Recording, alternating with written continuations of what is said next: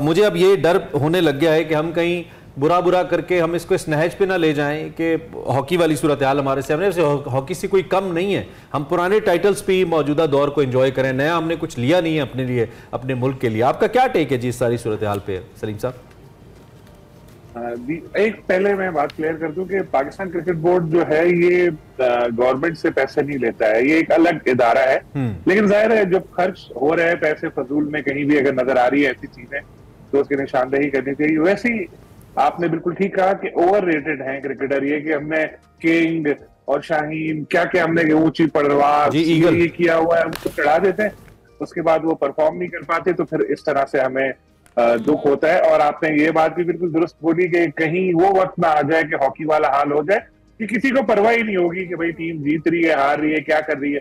तो बदकिस्मती से हालात तो नहज के जानब जा रहे हैं हम्म। क्योंकि वर्ल्ड कप में जब आप अमेरिका जैसी टीमों से हारोगे उससे पहले आप आयरलैंड से हारे जिम्बाब्वे से भी हार चुके अफ़गानिस्तान से भी हार चुके तो इसका मतलब है कि कहीं हमारी टीम में कोई बहुत बड़ा इशू है हम्म। जिसे रिजोल्व करना चाहिए देखें इसी वर्ल्ड कप में अफ़गानिस्तान कितना अच्छा खेला और इसी वर्ल्ड कप में हम अपनी परफॉर्मेंस देखें हम्म। तो टीम में मुझे बड़े मसाइल लगते हैं आप अगर पिछले तीन चार साल की टीम उठा के देखें तो दानिस्ता तौर पर ऐसा नहीं होने दिया कि किसी बैट्समैन को या सेट होने दिया जाए बस दो तीन लड़कों ने अपने गिर्द रखी कि भाई हम हैं तो टीम है हम्म। जब तक आप जीत रहे थे छोटी टीमों से मुकाबले हो रहे थे सब सही था लेकिन जब कोई बड़ा इवेंट आता था फिर हम लोग एकदम एक्सपोज हो जाते थे इस बार बहुत बुरी तरह एक्सपोज हुए तो जिस तरह पीसीबी ने कहा है कि सर्जरी वाकई एक सर्जरी हम्म। की ज़रूरत है अच्छा। ताकि जो आपस के सलीम साहब, ये जो हम patron in chief patron in chief करते रहते हैं प्राइम मिनिस्टर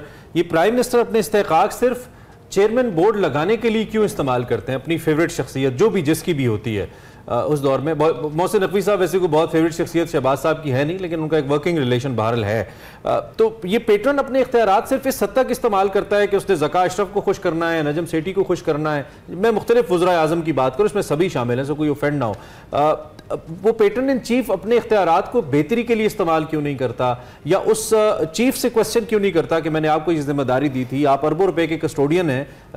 आपने इनको कहाँ पे लगाया? ये आप डोंट यू थिंक फिर सोली पेटर्न जिम्मेदार है? सारी हम्म। सूरत का वज़ीर आज़म जिम्मेदार है अगर टीम हार रही है तो? डोंट यू थिंक नहीं मैं ऐसे नहीं समझता क्योंकि जो भी हो उसने यही सोच के लेकर आता है अपने बंदे को या जिसको भी कि यार ये आएगा क्रिकेट को ठीक करेगा। लेकिन जब हमारी टीम ही अच्छा परफॉर्म नहीं करेगी जब हम्म। सही प्लेयर हैं उनको खेलने का मौका ही नहीं मिलेगा तो मसाइल तो होंगे। हम्म। और ये जो आपने कहा फेवरेट को लेकर आता है उसकी वजह यह है कि क्रिकेट बोर्ड जो पोस्ट है चेयरमैन की ये आप समझ लें मुल्क में तीसरी या चौथी सबसे बड़ी पोस्ट है। तो लोग कहते हैं कि भाई हमें यहाँ आना है। तो अब जैसे नकवी साहब आए तो नकवी साहब को जो लाया गया है उसका मकसद सिर्फ़ यही है कि भाई ये आए हैं और ये अपने जिस तरह से इनके बारे में मशहूर है कि थोड़ा अच्छा। भी करते हैं और नरमी भी करते हैं तो ये आके क्रिकेट को भी वैसे करते हैं जैसे हम्म। बिल्कुल तगड़े होकर डिसीज़न लें और हम्म। इसको भी ठीक कर दें तो, लेकिन उनका क्योंकि दो काम है वहाँ पर भी ज़्यादा मिनिस्ट्री में भी हम्म। इतना मसरूफ है मगर फिर भी मुझे पता लग रहा है कि पीछे पीछे काम हो रहा है कि क्रिकेट की कोई ऐसा हो सकता है अगले कुछ दिनों में हमें काफ़ी सारी ब्रेकिंग न्यूज़ मिले कि जी ऐसा कर दिया गया है वैसा कर दिया गया। है तो डोमेस्टिक क्रिकेट के हवाले से भी कुछ हो रहा है कोई तो सलीम खालिक साहब सिर्फ़ सिर्फ़ बातें हो रही हैं। अमली इकदाम की ज़रूरत है ना। अब तो जो सिचुएशन अब बन गई हुई है तीन तीन चार चार घंटे के इजलास तो चल रहे हैं लेकिन उसके बाद हम देख नहीं रहे हैं कि अमली तौर पर भी कुछ तब्दीली हो रही है। आप बिल्कुल ठीक कह रही हैं कि बजाहिर अभी तक कुछ ऐसा नज़र नहीं आया। मैं खुद इसको रोज़ाना एक ट्वीट करता हूँ इतने दिन गुजर गए कुछ भी नहीं हुआ। क्योंकि होता ही है कि जब भी टीम हारती है तो आपने देखा होगा अफ़गानिस्तान की टीम सेमीफाइनल में हारी। उन्होंने अपने कौम से माजरत की। श्रीलंका के कोच छोड़ गए।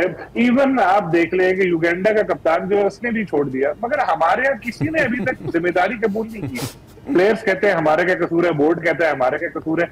तो इस चीज़ ने लोगों को और ज़्यादा नाराज़ किया है और वक्त गुजरता जा रहा है गुस्सा बढ़ता जा रहा है। हम्म। आवाम का भी। लेकिन मुझे फिर भी जो मुझे इतलात मिल रही है वो यही है कि पीछे पीछे काम हो रहा है। कुछ सबक क्रिकेटर से भी मेरा रहा हुआ था उन्होंने भी कहा कि हमसे भी उन्होंने ना पूछा था बोर्ड ने कि क्या करना चाहिए। हम्म। तो हो सकता है आइंदा कुछ दिन में कुछ हमें बड़ा नज़र आए क्रिकेट में ये सबक क्रिकेटर कौन है? खबर पूरी दिया करे ना खालिक साहब हमें भी बताएँ।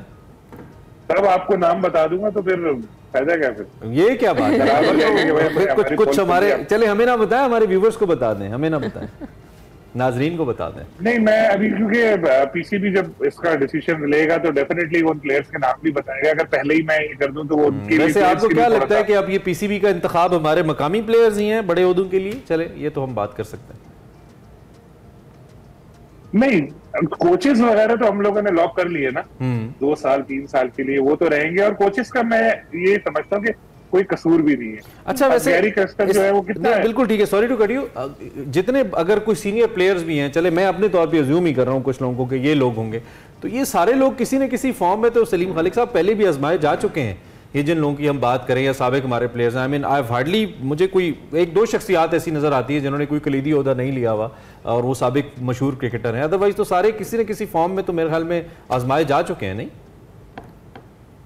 काफ़ी सारे हैं ऐसे मुख्तलिफ़ औकात में ज़ाहिर है वो आते जाते हैं ज़ाहिर हम लोग तो बांग्लादेश से श्रीलंका से तो लेकर आएँगे नहीं हम्म। इस तरह की जो पोस्ट है उसमें तो लाना ही पड़ेगा हमें लेकिन एक इंटरेस्टिंग बात मैं आपको बताऊँ कि जैसे राशिद लतीफ सबक टेस्ट क्रिकेटर है उन्होंने एक यूट्यूब शो में हफ़्ते उन्होंने कहा कि पाकिस्तान में भी एक ऐसी फादर फिगर होनी चाहिए शाहीन और बाबर के दरमियान जो उनको साथ मिलाकर चलाए और टीम से अच्छा परफॉर्मेंस दे तो मैंने हम्म। ऐसे ही ट्विटर पे राशिद भाई तो मुझे राशिद भाई प्लीज़ सजेस्ट वन नेम तो वो नहीं बता पाए। उन्होंने आपकी वाली बात बोली कि कोई टीवी पर है कोई कहाँ पर है तो मैं किसका नाम लू? हम्म। वैसे अगर मुझे भी मुझसे भी आप पूछे क्या हमें राहुल द्रविड जैसा कोई एक प्लेयर भी यहाँ पर नज़र आता है जो एक फादर फिगर हो जिसकी सारे लोग इज़्ज़त करते हो? हम्म। सारे क्रिकेटर भी दूसरे भी बदकिस्मती से ऐसा है नहीं। हमारे सामने क्रिकेटर्स हैं ऐसा अपना बनाया नहीं मकाम तो मतलब खालिद साहब अगर हम अगर हम माजी करीब की बात कर ले चले मुस्तकबिल को तो हम प्रिडिक्ट नहीं कर सकते लेकिन माजी में जिन जिन लोगों को आजमाया गया है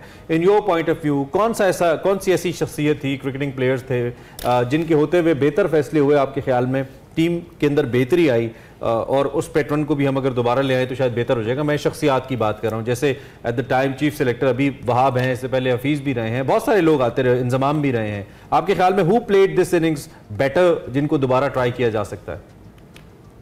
देखिए, इंजमाम का तो आपको पता है, हम लोगों ने उनकी स्टोरी दी थी, वो जो आई थी तो कॉन्फ्लिक्ट ऑफ़ इंटरेस्ट था उनका, और वो बहुत संगीन कॉन्फ्लिक्ट ऑफ़ इंटरेस्ट था। जो सेंट्रल कॉन्ट्रैक्ट में बातें हो रही है कि आईसीसी का तीन परसेंट शेयर भी दे दिया प्लेयर्स को हम्म। ये भी कर दिया उससे प्लेयर्स के दिमाग खराब हो गए। तो मेरे ख्याल है वो तो इतने कामयाब रहे नहीं। हफीज जो थे वो थोड़े तगड़े होकर डिसीज़न लेना उन्होंने शुरू किए थे। हम्म। उन्होंने ऐसा बाबर की पोजीशन भी चेंज की थी और भी कुछ करना चाह रहे थे वो। लेकिन ऐसे जो लोग होते हैं वो प्लेयर्स को पसंद नहीं होते तो वो फारिग हो गए फ़ौरन। तो अगर थोड़ा हफीज को हमने इतने लोगों को चेक किया उनको थोड़ा टाइम दे देते भाई चलो छह महीने हम्म। साल देख लेते तो शायद वो कुछ बेहतरी लेकर आ जाते हैं। फिर वसीम अकरम जो है वो कुछ करना नहीं चाहते। इस तरह की बड़ी पोस्ट कोई लेना नहीं चाहते कोच हम्म। या कुछ।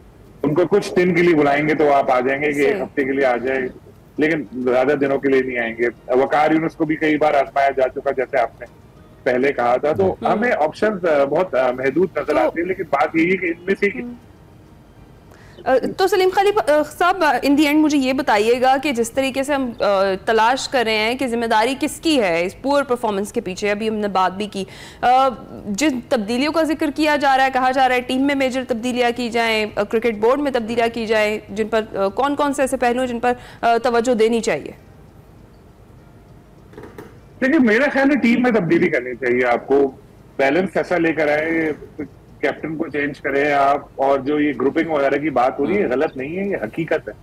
हम लोग काफ़ी तो अच्छे से बोल रहे थे। लेकिन कुछ सुनने को थे हाँ कोई सुनने को तैयार नहीं था लेकिन अब जब देखा लोगों ने तो अब लोगों को पता चला। हम्म। तो जब तक आप आप मुझे सिर्फ़ इतना बता दें चार साल में कितने बैट्समैन उभर कर सामने आए हैं पाकिस्तान टीम के लिए जो मुस्तकिल सेट हो गया कि आप कहें कि यार ये बाबर की रिप्लेसमेंट है या ये रिजवान की रिप्लेसमेंट है। हम्म, नीचे कोई आ ही नहीं पाया। अच्छा फाइनली मेरे पास थर्टी सेकेंड है। कब तक आपको ये नए फैसले होते नज़र आते हैं? कितना टाइम लेगा क्रिकेट बोर्ड मजीद? क्या खबरें? हैं कब तक सूरत हाल मुझे लगता है इसी महीने कुछ ना मुझे लगता है इसी महीने कुछ ना कुछ होगा। देखिए मैं फिर पहले भी मैंने बोला फिर कहूँगा कि मुस्लिम नगवी बहुत तगड़े इंसान है ताकतवर शख्सियत है हर लिहाज से। अगर ये नहीं कर पाए तो कोई नहीं कर पाएगा। मेरा इनको यही मशवरा है कि बगैर किसी के दबाव में आए हुए डिसीज़न ले जाएँ और क्रिकेट को बेहतर कर दें। हो सकती है क्रिकेट अभी भी कुछ बिगड़ा नहीं है। चैंपियंस ट्रॉफी अगले साल हमारे यहाँ ही होनी है उसमें हमें अच्छा परफॉर्म करना है। टीम अच्छी होगी तो अच्छा परफॉर्म अच्छा होगा बिल्कुल ठीक है। सलीम खालिक साहब thank you very much for joining us हमारे साथ सीनियर तजिया सलीम खालिक साहब क्रिकेट के हवाले से अपनी राय दे रहे थे। इस वक्त क्रिकेट बोर्ड में क्या चल रहा है और कैसा चल रहा